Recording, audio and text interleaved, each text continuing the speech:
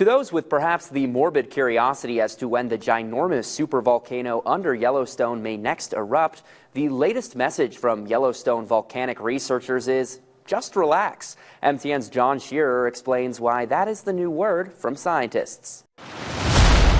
We'll have none of that. The stove isn't on in, in Yellowstone, so we're not worried about a, a volcanic event there um, in the in the near future. Scientist Mike Poland knows that because of a research technique that is almost more interesting than the finding itself.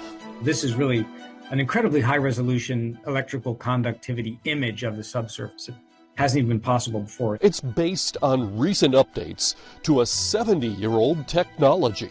Just the, the whole idea that we're using magnetotellurics to look at the conductivity beneath the ground is is pretty stunning. In science shorthand, it's called MT. It utilizes electric currents flowing deep into the earth. And that electrical current is not generated by, you know, generators or anything like it. It's generated by solar particles hitting the earth and worldwide lightning.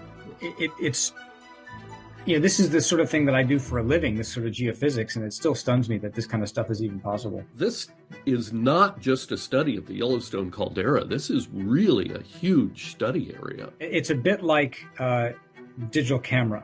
And the more megapixels you have, the better your resolution is. So the more sensors you have out there, that's essentially megapixels. Now, this map may be a little bit confusing. It has an awful lot of data on it.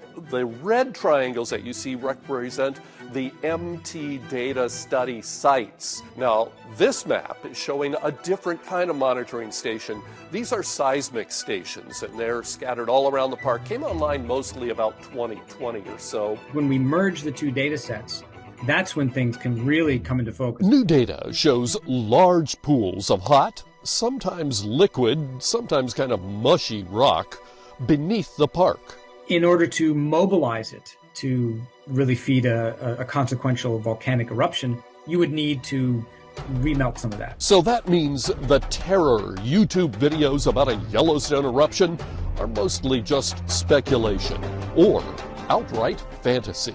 Right now, in the United States, one of the world's largest volcanoes is gearing up to explode. So don't believe that stuff. It's just clickbait. That doesn't take away, though, from the hazards that are in the region. One of them is strong earthquakes. Those are present because of the tectonic uh, activity in the whole region. The 1959 magnitude 7.3 Hebgen Lake earthquake is an example, or these these steam explosions like the one we saw last summer. More on that is coming up in a future report. I'm John Shearer. MTN News.